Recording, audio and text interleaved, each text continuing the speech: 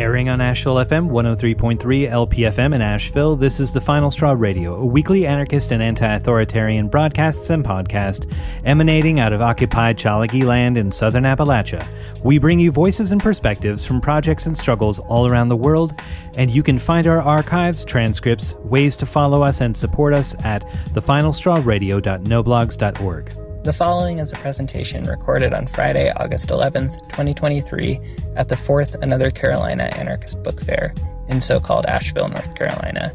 More recordings can be found at acabookfair.noblogs.org. The abortion counseling service, now better known as Jane, started out as a referral service in Chicago in the late 1960s, providing counseling and support to women before and after their procedures. Members of the group learned to do the abortions and then were able to do the procedures for whatever the women could afford to pay. Seven women were arrested and charged with the felonies of abortion and conspiracy to commit abortion. These charges were ultimately dismissed. It is estimated that about 11,000 abortions were performed before the group disbanded in 1973. It's been over a year since the Supreme Court overrode Roe v. Wade in the Dobbs decision, but it's well known that access to safe and legal abortions was being whittled away where it was available in the so called USA for a very long time.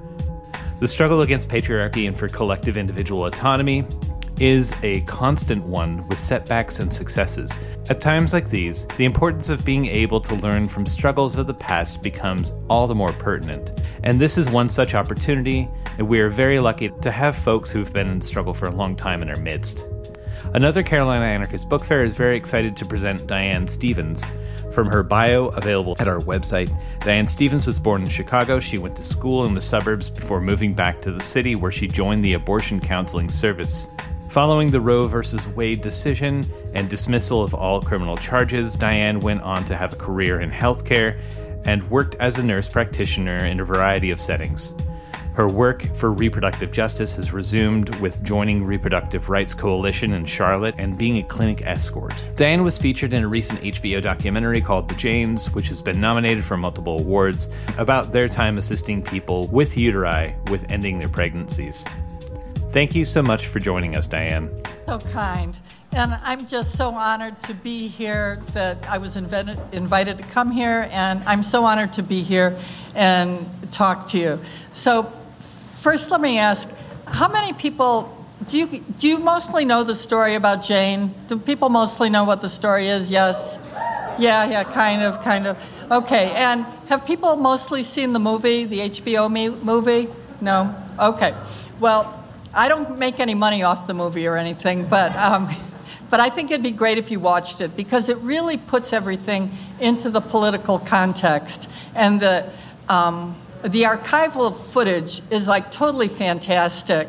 Um, they have footage of the, the cop that arrested us, who also happened to be at the 68 convention beating people up. So he's like, you know, just seeing him on the film is like amazing. So, anyway, I encourage you to watch it. So, anyway, basically, the Jane story is that women, ordinary women, helped other women get abortions. And this occurred in the late 60s to early 70s. It started with uh, one woman who would act as a referral person. People would call her up, concerned about their, you know, wanting an abortion, and they would re- she would refer them. And gradually, little by little, more and more people were calling her, so she needed help doing this. And from then, it just, it just moved on. It started with referring women to the abortionists that they knew, and then developing relationships with a couple of the abortionists, um, and then developing an even strong, and being able to set everything up, being able to be with the women when they were having the abortion, counseling before, counseling after, until it was really firmed up with one abortionist whose name was Mike. And he revealed to one of the women, Jody, that he wasn't a doctor. Because all this time, everyone thought he was a doctor. He said he was a doctor and he was doing a medical procedure, so who would know? So once he said he wasn't a doctor, some of the women in the group were really upset. Well, we had been lying to people all this time, saying they were having a doctor do their procedure, and it wasn't true. So they were upset about it. They thought it was wrong. They left the group. But other women thought, hey, wait a minute. You know, um, he's not a doctor. He's doing abortions. What about us? We could be doing these abortions. So, um, so Jody, who uh, she, she's deceased, but she's was an amazingly charismatic, strong person, and she was really angry at the whole medical profession because of what she had gone through when she had already had two children, she was being treated with cancer, and she was pregnant and trying to get an abortion. And she was in the hospital, like getting chemo, whatever, and having to beg for this abortion, and it finally, ultimately, was had the abortion in the hospital. But uh, she, it just made her so furious, and she talks about that in the movie. You know, she just wanted, she wanted to, to one up these doctors that wouldn't help her. So, um, so we were really, you know, if you, if anyone listened to the talk earlier today about uh, the Latin American experience, our group was. I kept thinking how different it was because we were really an open secret in the city of Chicago. You know, the, we had the number on signpost in the underground newspaper. It was really pretty open about it. Um, the way the way it went was uh, women would call a phone number. They'd call the Jane number, 643-3844. They'd leave a message on the phone. Uh, someone would call them back, accounts uh, would call them back. That was our callback Jane. And uh, get their basic information and transcribe it onto a card. And then um, they would be called by a counselor. And as a counselor, you'd invite the woman to your home and uh, explain everything. And from there, they would um, be given the address of where to go to have the abortion. So my involvement, is that enough about how Jane worked, basically? Does that kind of, okay. Well, people can, people can ask me in the Q&A all the little details. Um, my involvement came because I had had an abortion in California. I had a, what they call a therapeutic abortion, which meant I had to see, um, well, Planned Parenthood guided me through this, and that was fantastic. And I will always love Planned Parenthood for helping me with that. Um, I had to see two psychiatrists who um, would write letters saying that I was mentally incapable of going through a pregnancy or having a child or whatever they said. And uh, one gynecologist who heard the same story, and the three of them had to write letters to a hospital board who would review it and they must have done a good job with those letters because I was approved. And uh, right, I'm glad too. I was 19 years old. I could barely take care of myself, you know. Um, so I was hospitalized for the abortion. I was given general anesthetic. Um, I was there for two days. I was actually in the psychiatric ward, although um, looking back on it, nobody gave me any counseling or offered me any antidepressants or anything. But um, anyway, I was in the psych ward. Um, and then when I returned to Chicago, I felt that I wanted to do something useful. And I thought, well, I had an abortion. I could, I could help women that wanted to have an abortion. So in Chicago, there was an organization called the Chicago Women's Liberation Union. And it was like an umbrella organization for many organizations uh, that were working with women. So I left, I talked to someone there, and they gave me the Jane phone number. I left my number on the uh, answering machine, and somebody called me up and invited me to a new counselor orientation. Now they asked me like maybe two questions, you know, what's your name, where do you live, or something. Do you know what I mean? Like, um, they did not really vet me, I'd have to say. So, uh, right, right. So I went to um, Martha's house, and uh, there were two, Martha and Judith were there, and uh, I don't know, five or eight other women. And it was at that point that I learned that actually I was trying to join an organization that helped women get illegal abortions. I know, I, had, I was clueless. I had no idea what I was getting into. Um, you know, I was very young and I was very naive. But anyway, I felt that I could do this work, and I was uh, I sat through the orientation, and then I was kind of mentored. Although we didn't use that kind of language then, but that's really what it was with Martha. I sat in with her doing counseling sessions, and then I began doing my own. So, what my life was, well, I had a part, I had worked, I worked full time, um, a secretarial kind of job. I had dropped out of college a couple times by then. And uh, I would go to our, our meetings. So we ran kind of as a collective. I know we tried to run as a collective the best we could, but I know there were people that were really making major decisions that, you know, maybe all groups are like this. I don't know, you know. But anyway, but, but I, I give us all credit for really trying. Um, so we had meetings, and they were really work meetings. They were meetings in which we uh, filled little pill boxes with pills, um, ergotrate and tetracycline, I think, and we um, and we folded uh, pamphlets, which you guys can have if you want one, and the cards would go around the room. Because all that all those women that were calling, their information would be on a little index card, and this pile of cards would go around the room, and you'd look at these cards, and it'd be like you'd say, okay. Um, I can do two counseling sessions, two evenings this week. Maybe I can do like five or six people. And you'd pick out the ones that live close to you because, you know, you want to make it convenient for people. Okay, so then the cards would go around the room again, and then they'd go around again. And you knew they all had to be taken. You, you knew that these women needed abortions. And you'd look at when their last period was, and it's like, oh my God, you know, this person's like 12 weeks, 13 weeks, you know, oh, somebody eight weeks. Um, you knew you had to get moving. And it was that feeling, that urgency, that kept us all going.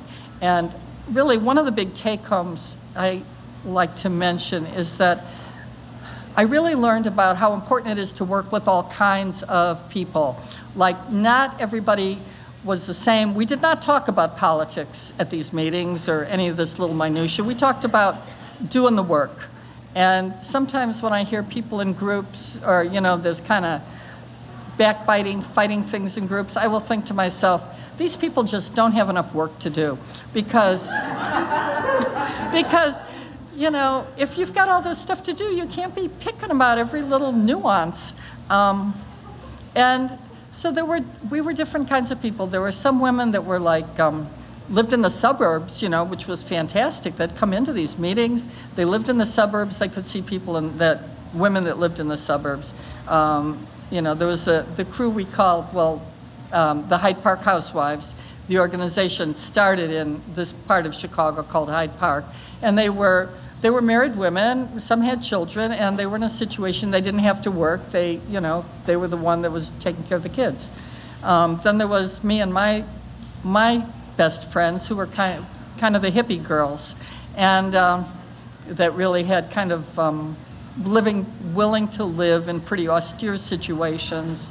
Um, I mean, it was so much different in the 70s. You weren't really thinking about your having a good microwave. Well, you know, microwaves hadn't even been invented, but you know, but you know, I mean, it was so, it was really different, and we thought we were changing the world.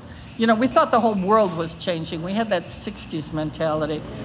So, um, so I learned how to be a counselor, and then I learned how to um, be at the, what we called the front, which was the address the woman would be given. It would be somebody's apartment, you know, either a friend that we somehow conned into letting us use their house, right, or our own apartments. Um, that we thought was going to be safe, that you could have people coming and going all day long without anyone calling the police. And it was like a big waiting room because the women could bring their uh, support people. Some of them had to bring their kids, you know. And it would be um, try to create a pleasant atmosphere. We, we would do a lot of um, education.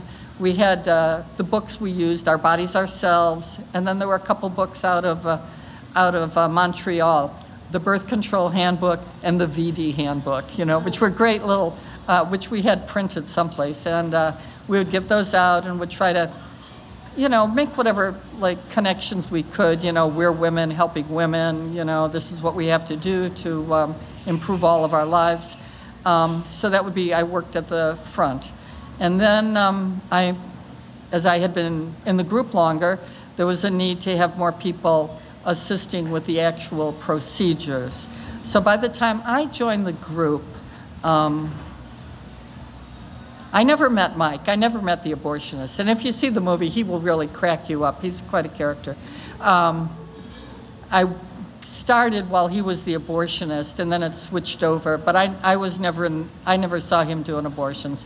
I came, started helping when uh, Jody was doing them, and then a few other people. And then I, we would teach people very gradually. Like first you'd uh, be, you know, help the woman come in the, you know, walk her into the room and give her the injection and uh, sit with her during the abortion.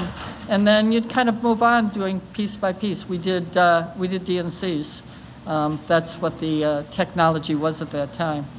Um, and of course, there were no ultrasounds, so it was all, and none of us had training like to do bimanual pelvic exams or whatever, but we kind of, you know, we just, we just did what needed to be done. And we did a good job because we really had a um, really low rate of um, problems afterwards. And we kept in really close touch with the women. You know, she'd have her counselor to call her afterwards and check on her. And if she had anything, you know, that didn't seem right going on, well, she would be told, you have to go to the hospital. You know, this, we can't help you with this. If they're bleeding too heavily or have an infection or whatever.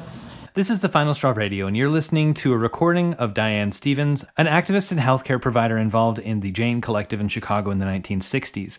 This recording and others from the 2023 Another Carolina Anarchist Book Fair in so called Asheville can be found at acabookfair.noblogs.org forward slash recordings. And um, so kind of life went on uh, until there was, uh, an, uh, there was an arrest a woman whose family disapproved of her having the abortion went to the police and said, We want you to stop this. And uh, they finally felt that they, they didn't really want to. They said, these guys, they were like, Well, we're the homicide cops. You know, what do we care about abortion? But they ultimately did come in um, to the workplace and to the front, and seven of us, of us were arrested. Um, so I spent one night in jail. And I have to say, again, I was so young and naive. Well, it wasn't really the best night in my life, but you know, I got through it, and I thought, I thought if I had to go to jail because of this, I was really a good person to go to jail because I didn't have children, I didn't have strong family obligations or anything. If I had to go to jail, so be it. Um, but I was fortunate; I didn't have to go to jail. Um, Roe v. You know, the court processes were going on. You know, we were, would go to court, and then it would be um, continued or more, um, what are those things called? More whatever, you know, huh? No, no, not appeals. We weren't even at that point. You know, the motions. There'd be more motions. So it just kind of went on that way for a while. Um, for a while, um, right after the bust, uh, those of us had been arrested stopped working with the group because of the heightened paranoia. We thought we were being followed and whatnot. But ultimately, uh, some of us did go back and start working doing abortions again, which I did. And then uh, ultimately, Roe v. Wade occurred, and then uh, we went to court, and our charges were all dismissed. In fact, my record was even expunged. So, um, you know, it really didn't have any uh, lasting bad effects on me or anything. So, um, when all was said and done, we estimate, or um, Here's a, this book, here's the book, the most recent edition of Laura's book, who Laura was in the group, and she wrote a book, and it's available in all the bookstores. She estimates 11,000 abortions were done over the years. So, really a lot. Um, say what? Oh, here. Story of Jane. So, um, I was going to just make a couple little minor points. How much? How long have I been talking anyway? I am pretty much Okay. Well, I thought I'd just mention a couple little, um, a little things that I think are interesting, and then I'll open it up for questions. Um, one thing is we paid ourselves.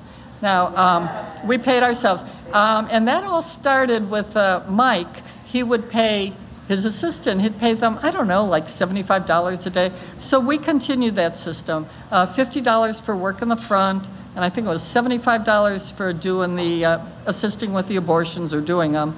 And uh, then the people that spent all their life on the telephone, the callbacks, uh, they got paid some kind of weekly salary. So we did pay ourselves.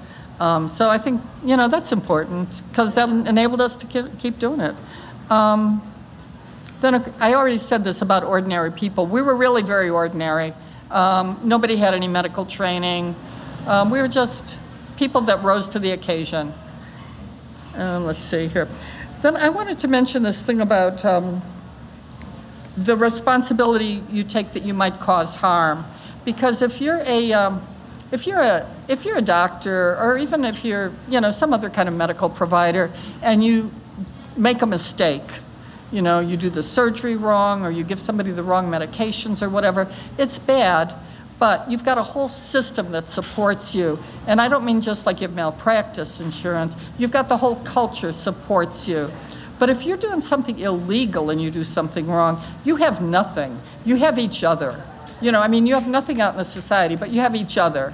Um, so that's just something that you've got to think about. I mean, that I think is a good takeaway. Um, then I was going to say this thing about Ill, doing illegal stuff, which, um, well, yeah, because you're all laughing, you know. So it's cool to do illegal stuff, right? And that's why you guys all came to see me and clap for me. Do you think anybody does that in my day-to-day life? You know? but, um, but if you're in a group and you end up with people that are overly enamored of doing illegal things, or they really are high risk taker kind of people, those people can be dangerous. And um, it's just like another responsibility you have to take when you're when you're working outside the establishment is to kind of be looking at each other and uh, with a critical eye. And uh, we did have to. There was a person that we asked to leave the group because she was we because we thought she was fucking up, you know, and she was too much enamored of this stuff, and maybe her medical practices weren't as good as they should have been. So anyway, we asked her to leave the group. So that's just something about uh, taking responsibility and kind of looking at who your who your peers are. Um, so anyway, I thought I'd mention that. Let's see what else I want to mention. Um, I think that's. A, I think those were my um, my key points I wanted to mention. So why don't you guys ask me any questions you want? Please. Thank you for being here. I'm part of the Mountain Area Abortion Doula Collective here. Oh. Yeah, it's cool. Oh, So, okay, glad to meet so many questions for you, but one of them is like, how did y'all decide what to pay each other?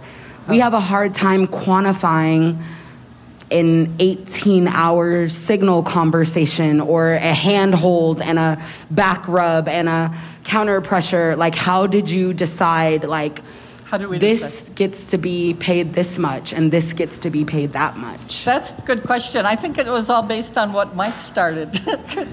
so that's kind of awful, really, but that's how we started it. Oh, okay. Helpful. But um, I guess I would say that if people, you know, if people are, if that's their full-time job and they're doing so much work that they couldn't do anything else, then you've got to pay them a living wage for whatever they need to, whatever it has to be, right? I mean, and if you have to be on call for people because they, they might need you at any given moment, then you can't really have another job, right? Or it's going to be tricky. How are you going to leave where you, oh, sorry, I've got to go, blah, blah, you know? Most jobs don't like that sort of thing. So, um, I don't know. I guess you'd have to like talk about what's a living wage. Back then it was so little. It was so little, right? Thank you very much for your talk today. Did your work with the Jane Collective make you interested in getting involved in nursing? Yeah, that wanting to help people thing. And in fact, I always thought I'd do women's health, but I ended up working in psychiatry more than anything. So, yeah, right, right. I know. Yeah, right, yeah, right. There are a lot of women in the psych hospital, right? That's for sure, right. It's all the same. I was going to say one, one thing uh, about money. One thing that was really great when, when the women started doing the abortions instead of Mike is that we cut the price because when we had him, yeah, right, it was, it was uh, $3 and then would kind of negotiate to do a few for free. And then uh, after we did them, it was $100 if you can pay it. So that was great. Mike, 300, yeah.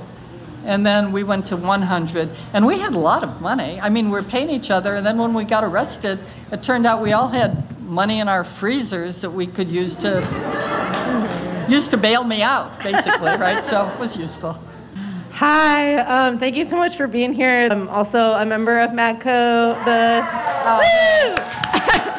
um, y'all should come to our workshop, and yeah, we're gonna. I really appreciate you being here, and I just I'm curious. I think right now we're doing this work in a landscape where forced birth rhetoric and the the pressure for folks to have children is so intense, especially in our particular context. Like, we're supporting a lot of people who live in rural Christian communities um, and who live in the Southeast. And I guess what I'm curious about is how did y'all approach supporting people who were struggling with even like the choice of whether or not to have an abortion um, oh. and moving through that choice? yeah. yeah. I, I don't think we really had to struggle with that a whole lot because by the time people were calling the phone number, they, they had pretty much decided this is what they wanted to do. I'll tell you, one of the worst situations I was ever in, though, was it was at a front, and it was a, um, it was a, it was a teenager that was pregnant, and she was there with her mother, and it was a young teenager, you know, like I don't know, you know, she wasn't any 18-year-old, she was probably like 15 maybe, and. Um, you know, I would meet so many women that were trying to keep an eye on their daughters, and they would tell me about, you know, always watching the menstrual pads, if they were being used up or not. Like, wow. So, anyway, uh, this, this woman had brought her daughter for her abortion, and the daughter did not want to have it. And um, so I talked to the so I talked to the daughter separately, and she said, "No way, I'm not. I don't want to do this." And you know, you so I, I had to tell the mother, I said, you know, we can't do it against her will. I mean, and even if even if we wanted to, how would we make her stay still, you know, or have her not? I mean, do you know what I mean? And we could not do that. You know, she has she has to be a willing participant. But I just I just felt horrible for both of them. I could see this woman who's been raising her kids, and now who's going to be taking care of the baby, right? You know, I just I just felt bad for them so that was that was awful. But um, beyond that, I don't I don't think I, like I said, by the time I was meeting them, they they really I never saw anybody like go into the room and for the abortion say, oh, I changed my mind. I never saw anything like that. I'm sorry if that didn't really answer the question very well. If you want to support the Final Straw Radio, you can subscribe to our podcast via various platforms, follow, rate, and share our materials online, and learn more at tfsr.wtf. And if you'd like to fund our transcription work that allows for easier translation, more accessibility of content, and the zines that we produce from each interview, consider picking up some merch from us or making a one time or recurring donation via PayPal, Venmo, Stripe, or LibrePay, or joining our Patreon to access early release content and other goodies via the links that you can find at tfsr.wtf/slash support.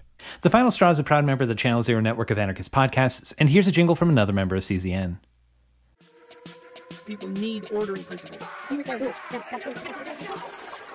12 Rules for What is a podcast about fascism and the far right from the perspective of the left. It's obviously great stuff, but don't take our word for it. Here is a word from our sponsor. I'm Jordan Peterson.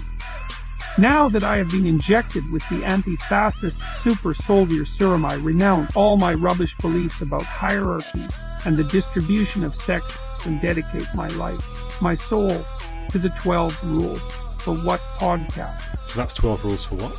A podcast about the far right. Get it anyway get your podcasts. 12 rules.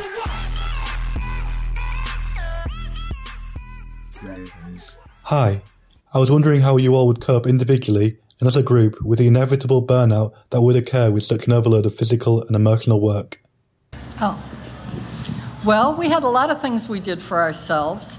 In Chicago, um, one thing we did, which I had forgotten about until Eileen mentioned it um, recently, was there was a place called the Luxor Baths, which was like an old time bathhouse, like they had, like the European communities used to really be into these bathhouses.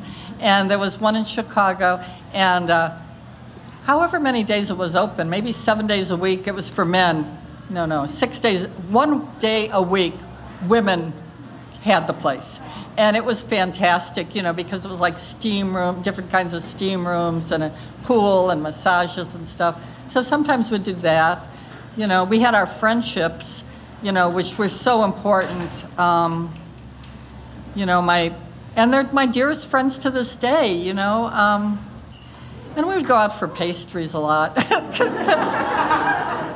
there was a really good pastry place at a, uh, a hotel, the Belmont Hotel, and they gave you little uh, gold uh, service, you know, and these, you know, Napoleons and stuff like that. We'd do that, you know. So we'd do fun things like that. But, you know, um, I don't know. We, it, was, it was stressful, but it was, it was okay. We had each other. Hi. First, I'd like to thank you for what you did. I did my training with the Cicada Collective in Austin, and I wondered if you had any words of hope concerning the laws that are being passed. Yes, I do. Look at Ohio. I mean, that's just, look at Ohio, geez. And uh, Michigan, you know, there's a lot of good stuff going on. And just hearing this morning, um, listen, or this afternoon, I'm sorry, listening to the uh, talk from Latin America, that was fantastic. We have so much to learn.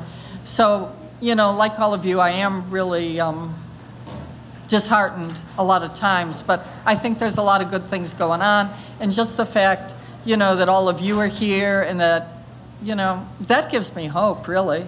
That gives me hope.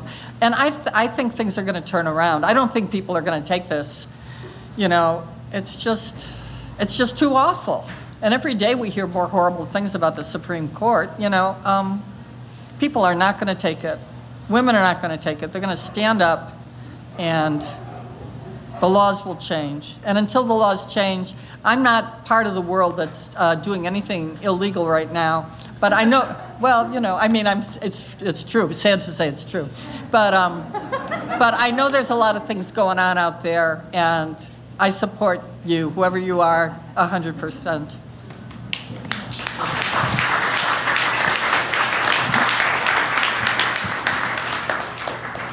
Um, hey, thanks for being here. I know everyone's already said it, but I think we can't express enough gratitude. Um, I also want to say, like, it's really sick um, as a woman to hear women's history, the story of women helping women, just normal women helping other women. Um, I'm, I'm really happy that you're sharing this with us because it means a lot to hear those histories. Um, my question is um, in all the experience that y'all had along the way, I'm sure there were a lot of things that y'all had to figure out um, and kind of figured out as you're going along. I'm wondering what you would do if you had like magic powers, could go back in time and share your wisdom um, with the women who are doing that work then. Um, like, what kinds of things would you tell them? What advice would you give? What would you do differently? Hmm. Oh, that's a good question. I don't know. I don't know. I don't know what a, I don't know what we could have done differently. I wish we had better access to telephones. Telephones were so crazy back then. Um, you know, what with looking for payphones, and then uh, somebody's uh, husband was the night manager at a print shop, and we would go there and use phones at his place. Um, I don't know. I don't know. And then I think how things are there's phones everywhere now, but then there's always also the paranoia of all the phones too. So, yeah, I don't know. I don't know how we could have done it differently. I don't know. That's i I'll have to think. I'll think about that, and uh, the next time I give a talk, I'll I'll have an answer on that one. But you know, you were mentioning about women helping women and stuff. I was gonna, when I was at a um, conference in Durham, there was a woman from uh, yay, Durham, were you at? Yeah, right. Oh, you're sitting. Okay, so I met this woman whose name is Angela Hume, and she wrote a book called Deep Care that isn't out yet, but she sent me a copy, and it's about the women in California that. Uh, that did the self-help clinics and the menstrual extractions and everything. And this is like totally fascinating. So her name's Angela Hume, and uh, her book will be coming along. And she's like Angela's like a, a serious historian, a feminist historian. So it's a, I just started reading the book. It's fantastic. So I think, yeah, you want to look at it? There's, there's just a lot of stuff that we don't know that was going on. That's going to come out at, I'm pretty sure AK Press, right? I'm mm-hmm. pretty sure AK Press will be, yeah. that's the place you Oh, yes, yes, that's right. Yeah. Thank you. Yeah. Thanks. Thank you. Hi, thank you. I wanted to ask you if you wanted to maybe explain a little bit more about what a D&C process of abortion is, so people understand what the experience was um, of people who were experiencing those abortions. And also, what do you think about this clinicalized process that was being performed in a non clinical space? And people who are interested in helping other people by performing that sort of care in non medicalized spaces, and what is the, the, responsible way to do that? Oh. oh, like what would I think about people doing the process, process that I used to do now? Uh, or any other processes? Well, I think you can learn a lot about you know, you can learn so much about sterile technique and stuff. And I know, I remember people were like kind of appalled at the people from California. I'm patting the book. The people come from California came and visited Jane, and they were kind of appalled with our um, our processes, which was basically, um, oh, like field. It would be like uh, field sterilization, cold water sterilizing.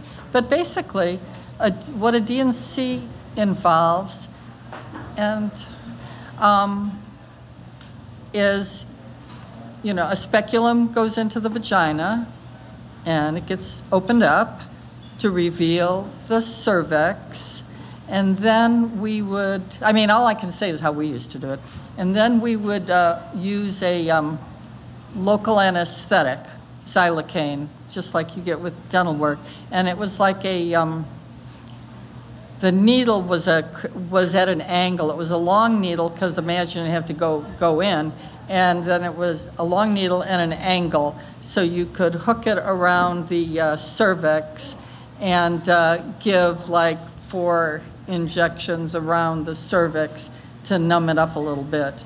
Um, and then sometimes, if it seemed like it wasn't real stable enough, you there was an instrument called a tenaculum that you could use to uh, stabilize the um, cervix. And then there was um, dilators, and you would use either a, um, there were these little dilating rods you could use to slide in, a, a um, thinner one, and then a fatter one, and then a fatter one. Or you could use, there was a mechanical dilator which would slide in, and then it had kind of a I don't know how to describe mechanical thing, but you'd kind of you'd kind of squish it and tighten the screws and gradually open little by little until the cervix was open. And of course, this is going to be tougher.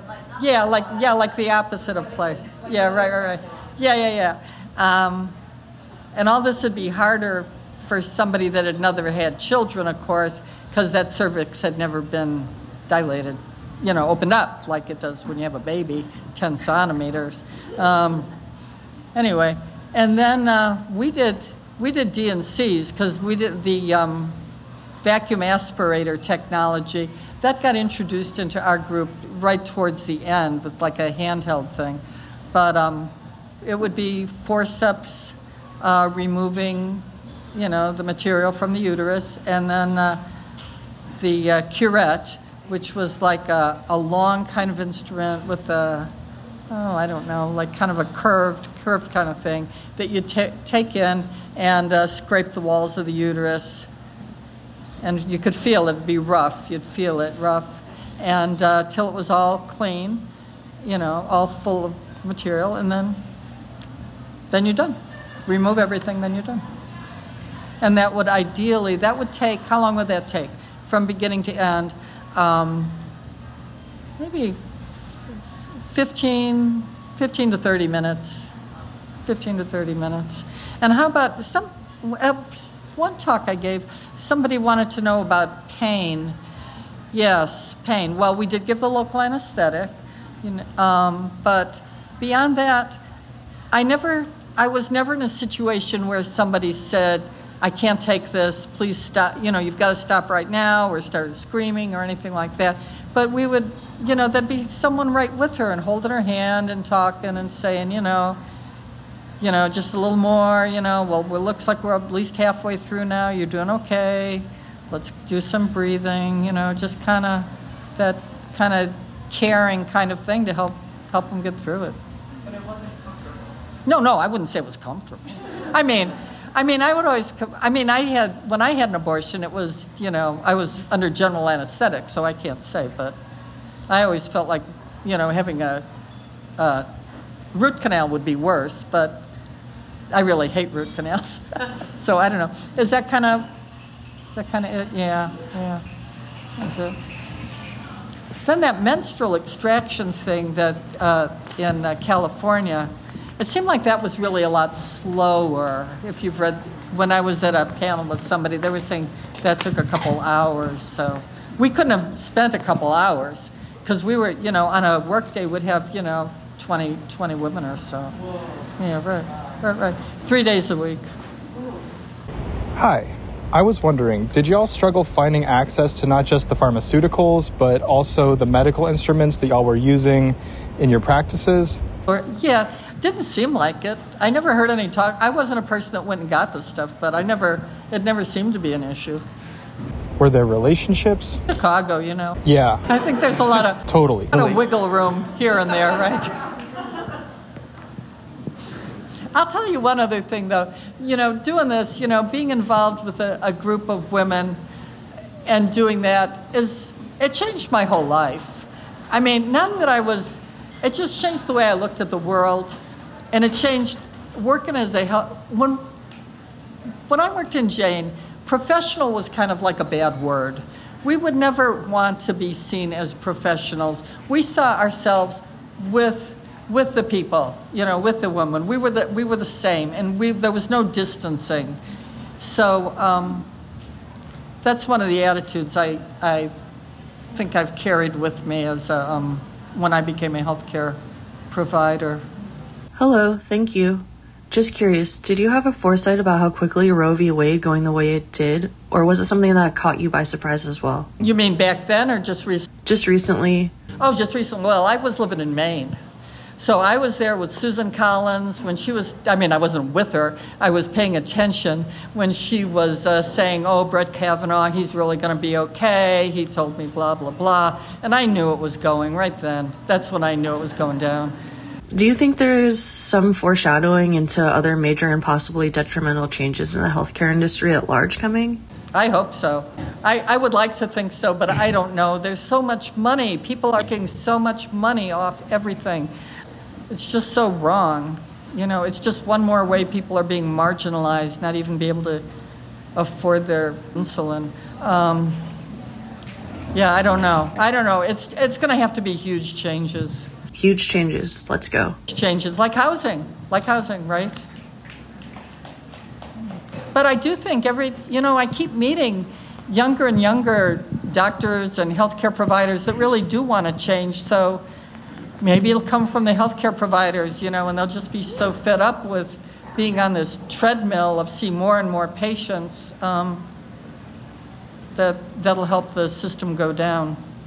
This is the Final Straw Radio, and you're listening to a recording of Diane Stevens, an activist and healthcare provider involved in the Jane Collective in Chicago in the 1960s.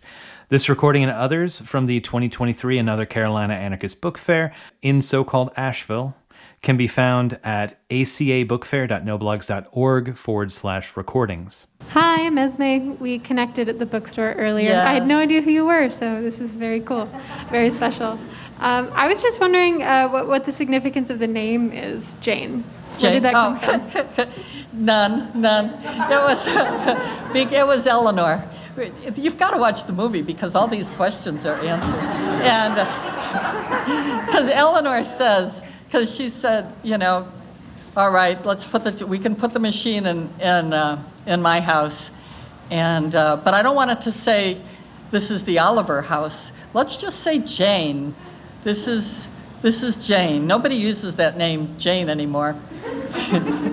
and the other thing Eleanor says it's really, I've seen this movie so many times because usually there's a, I watch it before I talk.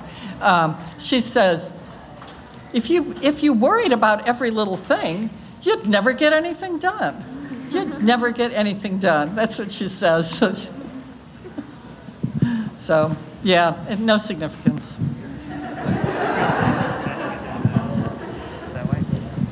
Thank you so much for this talk. It's really amazing to be able to hear from you in, in person. I was teaching classes on abortion to students and showing the movie and and teaching them about the Jane Collective. And I'm, I'm, you know, I'm thinking about like in the ways that the people in the collective talked about the ending of the collective when Roe uh, was decided, like, and today, learning from the sort of failures of the attempt to defend the rights for abortion against the state, and it was like 50 years of like a s- sort of slow bat- uh, battle, right? That didn't go very well, and right now we're facing. Um, you know, not only the overturning of Roe v. Wade, but also the attack on trans people's access Right. to care. Yes. And I think the, there's a lot of parallels there. So I'm looking, like, I look to the Jane Collective to see, like, this is something that shows us that we don't want to rely on the state and we don't need to rely on the, like, institutional practices of, like, care, you know, giving. And I'm wondering what your thoughts are in terms of that, like, looking back, like,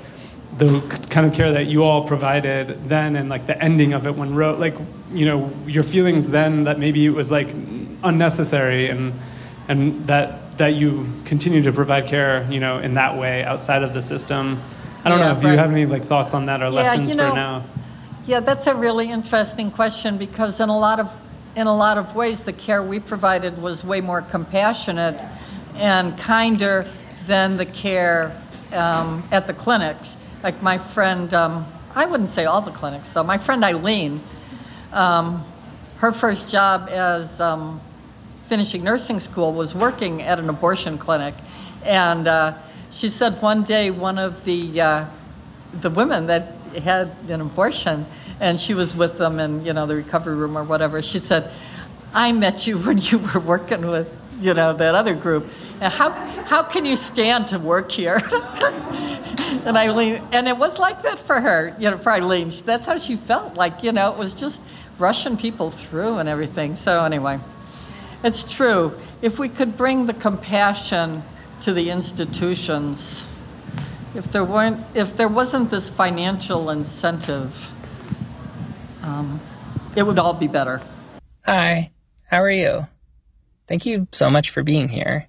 Um, before I ask my question, when someone asked if you had any words of hope, um, somebody said this. It might be from Harry Potter. I'm sure we have some Harry Potter lovers here who can quote it. There's some quote like, as long as there are good people in the world, evil will have something to fight against. And I just feel so inspired that there are so many amazing people here fighting the good fight. As long as people are doing that, we we're going in the right direction. My question is I used to work as a sex educator in South America, and it's something that I feel super passionate about. And I think it's very important to create a more equitable world.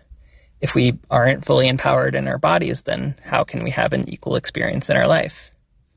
But something that I always came up against was the question of how do I talk about sex and reproduction and abortion in a way that is appropriate for all ages and that will be heard, where even parents that are open will be okay with?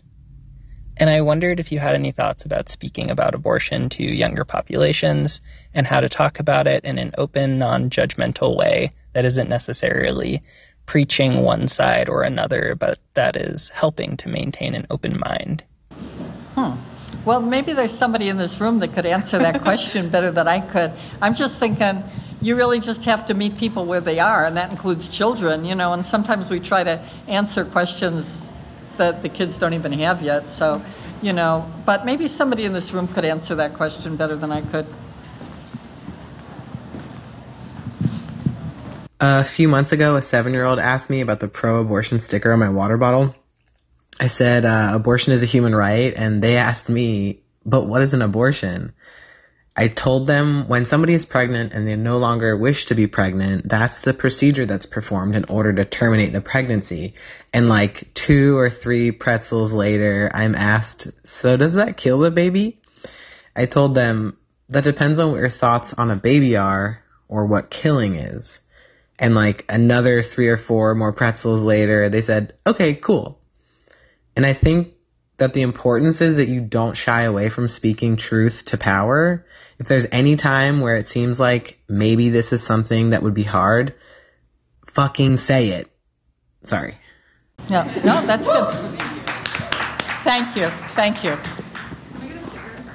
Hi, we've met. I'm a big fan. Thank you for coming to the talk earlier. I just want to say that Jane was a huge inspiration for me and for the work that I do in other parts of the world. And because there's a lot of people here who are probably working on this subject, and I know that it's a moment where it doesn't feel like there's a lot of hope or where there's a lot of victories being won, I just want to reiterate something that I said earlier. This country is part of a giant landmass called the Americas, and Latin America is so lit right now. We are winning victories all over. We are doing direct action. We are a model that can maybe be replicated or at least an inspiration. And I got inspiration from Jane. And that's what's cool about this intergenerational format and these talks that are happening. We're just going to keep inspiring ourselves. Let's just keep remembering that there's so much more happening outside of the fake borders of this empire. And so thank you for being here. Thank you for doing what you do. And you are not alone. There are so many people doing this work.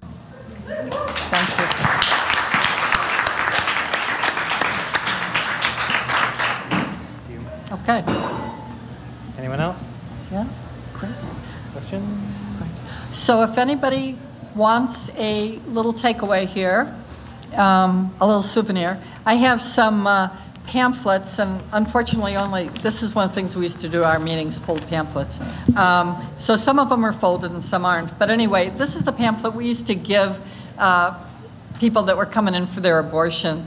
And it's kind of, I think it's kind of cool. So anyway, if anybody wants one, and then the, um, and then there's uh, some of my, so my friend from uh, Charlotte, Carol, um, made these uh, buttons for uh, a showing of the movie, and it's a uh, picture of my uh, mugshot.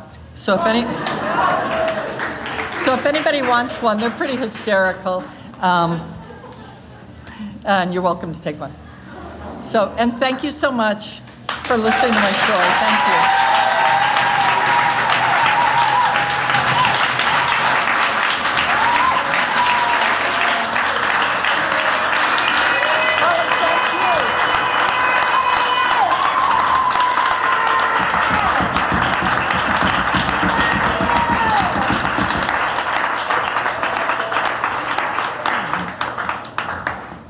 And now some words from anarchist prisoner Sean Swain.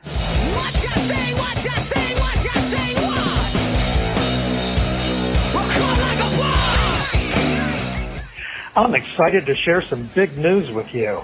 Monumentally and historically big. It appears I might be single-handedly responsible for bringing down capitalism. Now, I think by now all of you know I don't like to brag don't need to take credit. I prefer not to toot my own horn. I'm nothing if not incredibly humble. But this time, I have to make an exception because I brought down capitalism all on my own. Well, not all on my own, but I inspired others to bring down capitalism. And I did it right here from the Final Straw radio show. Hold on. I can't concentrate with burst laughing in my headset. I'm pretty sure I heard Will say he thinks somebody's listening to him, and now the laughter is very distracting. I tell you, this is no way to treat the show's designated bathroom break, especially when I've made history. So here's what I'm talking about. It was during the pandemic, sometime in 2020, and I was still illegally renditioned to Virginia. I recorded a segment where I endorsed what's called flash robberies and smash and grabs, advocating that everyone out there take up the practice. I even gave helpful hints on how to do it successfully. And savage cannibal swainiacs everywhere responded. Turns out, since that broadcast, flash robberies have proliferated, out of control, off the chain, beyond the stratosphere. According to mainstream news sources, flash robberies, what they're now calling organized retail crime, cost the U.S. economy $94.5 billion in losses in 2021. That's 94.5 billion with a B. Since I advocated flash robberies and smash and grabs, so-called organized retail crime has increased 26.5%. You can probably Google organized retail crime and view dozens of awesome videos. Flash robbery porn. Folks recently got away with over $100,000 from a high-end store at a mall in LA. In New York City, authorities report that more than 90% of organized retail crime is the work of fewer than 400 people who have collectively been caught and released over 6,000 times. I don't know who these people are, but anti-capitalists everywhere need to organize a dinner in their honor. On styrofoam with plastic forks, of course. You'll have to hide the good silverware in China. You know things are getting hectic when the authorities have come up with an official nomenclature to describe something. Organized retail crime makes it sound like a serious thing. It's organized and it's criminal, like the mob or the former Trump administration.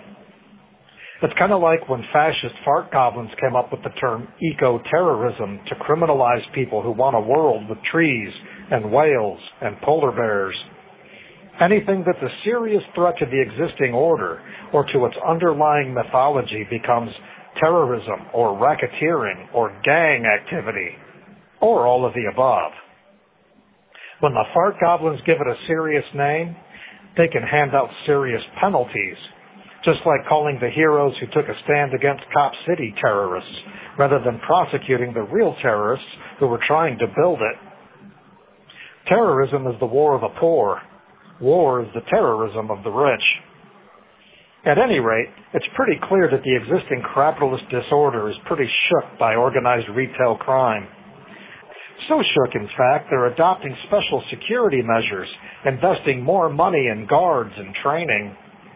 They're afraid, and they should be. Whether they know it or not, it's not just theft they need to be worried about. It's the death of their system, a consequence of COVID. The COVID lockdown disconnected everyone from their identifications with their jobs. They began discovering identities as something other than workers. Millions of folks never returned to work after the pandemic, no longer buying into the wage slavery system. It would appear that this also liberated them from the myth of property rights, the framework by which those with accumulated wealth convince you to pay for the stuff they have on their shelves.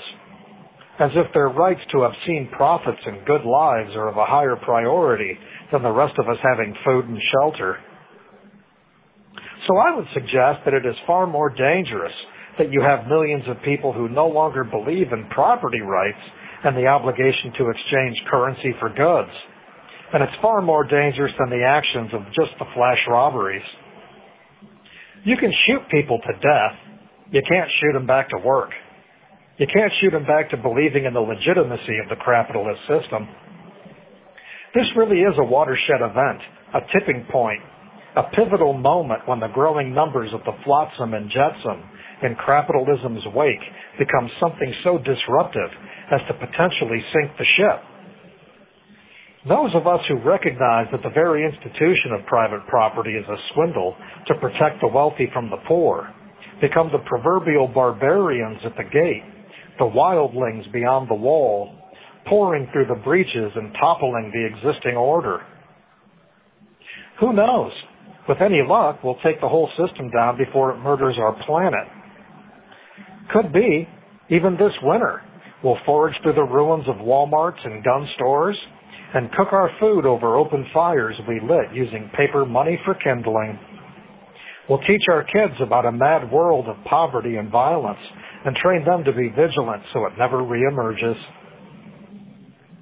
This is anarchist prisoner Sean Swain from the super duper uber mega ultra hyper turbo multi maxi max in Youngstown, Ohio. If you're foraging at the high end corporate chain stores, you are the resistance. You can still write Sean at his new old new again address at Sean Swain number A243205 OSP Youngstown 878 Coitsville Hubbard Road Youngstown, Ohio 44505. You can find his past writings, updates on his case, hear his past audio, find out how to get his books, plus ways to contribute to his legal defense fund at seanswain.org. This is The Final Straw Radio. This show will later be archived at thefinalstrawradio.noblogs.org, and you can email us with questions and suggestions at thefinalstrawradio at riseup.net or thefinalstrawradio at protonmail.com. If you'd like to use any episode for your project or radio show, feel free to do so. Just send us an email to let us know. If you care to, you can send us letters at TFSR P.O. Box 6004, Asheville, North Carolina 28816. This show is brought to you by Firestorm Books.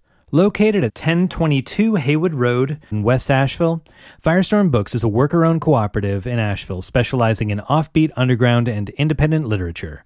You can find a catalog of Firestorm's books and zines, plus a full calendar of events at their website, firestorm.coop.